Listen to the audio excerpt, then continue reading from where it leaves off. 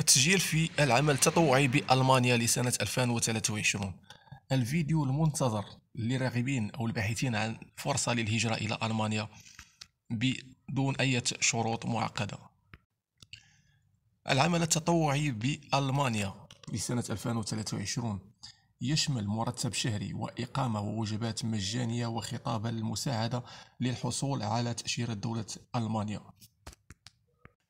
الدول المتاح لهم التقديم. معظم دول العالم دول معظم الدول العربية عفوا متاح لهم تقديم لهذا العرض. إذا يمكنك تقديم لهذا العرض أينما كنت. أخي أختي الكريمة في أي دولة تقيم عربية يمكنك التقديم لهذا التطوع. مدة التطوع ستكون عشرة أشهر.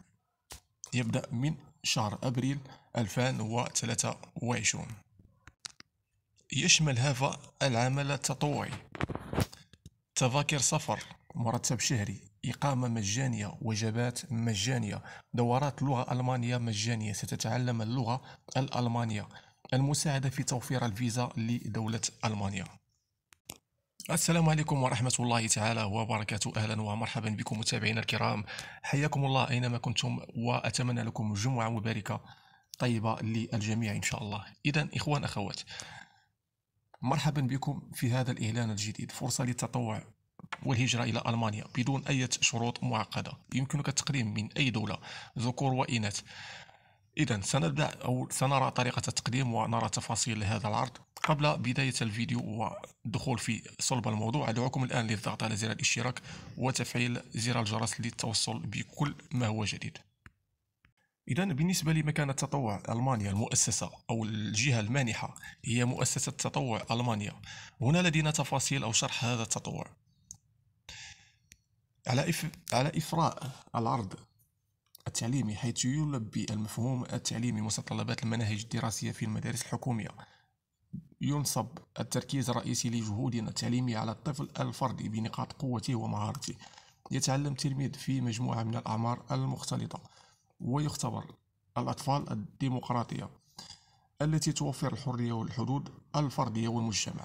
يتمثل دور المعلمين في تقديم المدخلات والنصائح لدعم الأطفال في طريقتهم الخاصة في التعلم.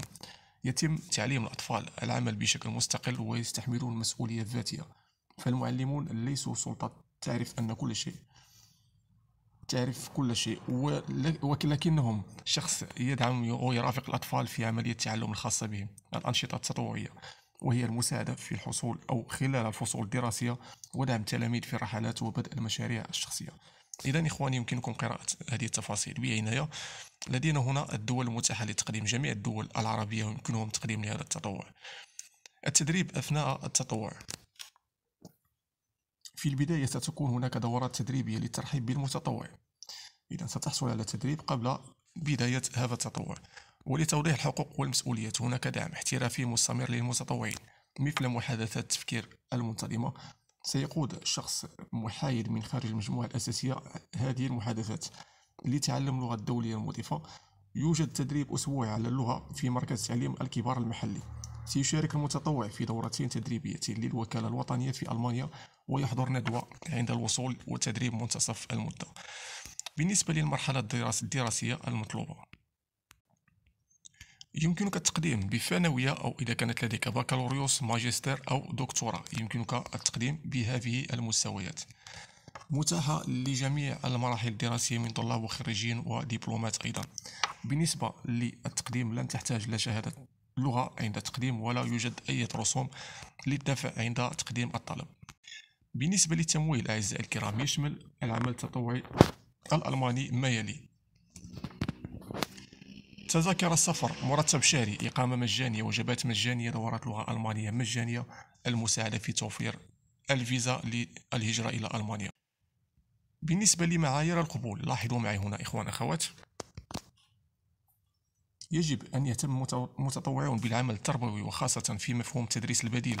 نتوقع بيرسون منفتح الذهن مع اهتمام بمدرستنا الديمقراطية والبديلة وكذلك الانفتاح على العيش في منطقة ريفية في مدرستنا. ندعم الأطفال للتعلم بشكل مستقل ومسؤول عن أنفسهم.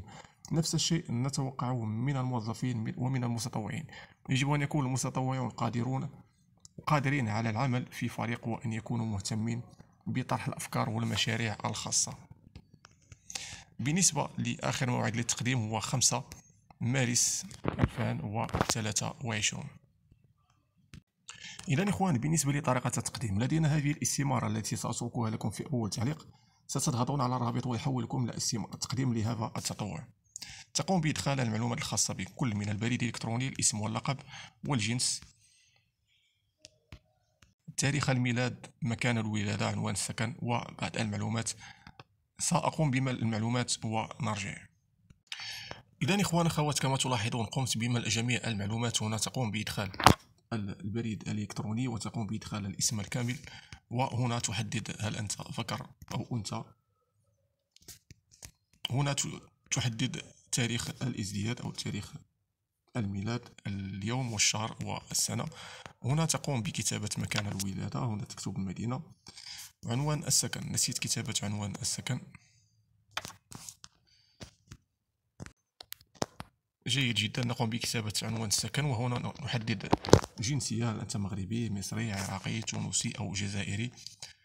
هل تحتاج فيزا لحضور هذا المشروع؟ إذا هنا تحدد نعم أحتاج إلى فيزا.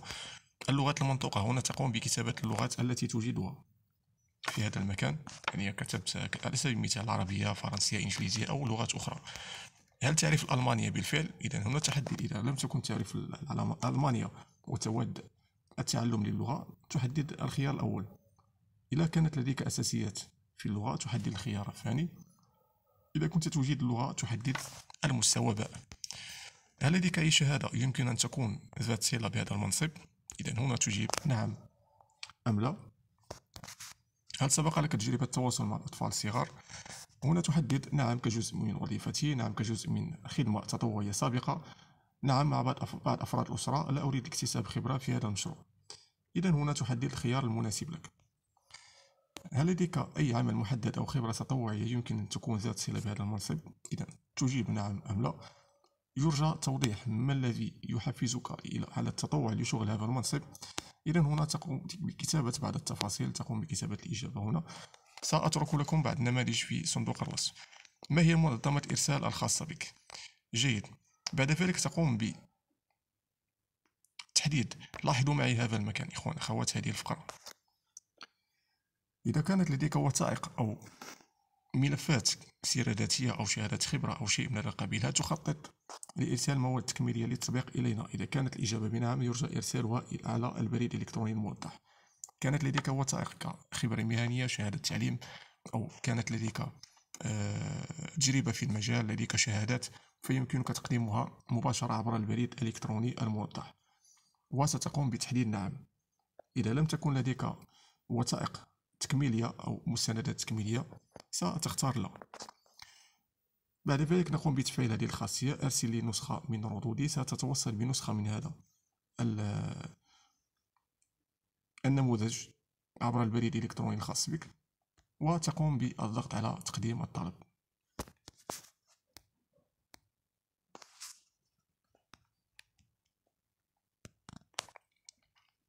إذا بعد ذلك بعد تقديم طلب ستظهر لك رسالة رسالة تأكيد. شكرا لك. تم إرسال الطلب بنجاح. أنا لا أستطيع إرسال الطلب لأنني لست آه، آه، مسجل في المتصفح بحساب جوجل.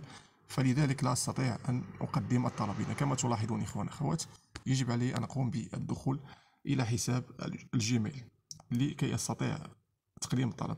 فعند انتهاء من ملء المعلومات تقومون مباشرة بالضغط على تقديم طلب وسيتم إرساله مباشرة للمنظمة. إذا إخوان أخوات الكرام أتمنى يكون الفيديو واضح. ستجدون الرابط رابط التسجيل أو رابط الاستمارة في أول تعليق يمكنكم الدخول إليه من خلال أول تعليق وقوموا الآن بملء الاستمارة وقدموا طلباتكم وأتمنى لكم التوفيق إن شاء الله وأتمنى لكم يوم سعيد جمعة مباركة عليكم جميعا. المرجو الضغط على زر الاشتراك لمن لم يشترك بعد وتفعيل زر الجرس للتوصل بكل جديد ومشاركة الفيديوهات لكي تعم الفائدة. ولا تنسوا أيضا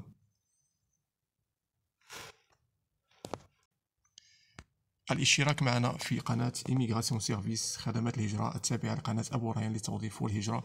ونلتقي إن شاء الله في عرض جديد. حياكم الله والسلام عليكم ورحمة الله تعالى وبركاته.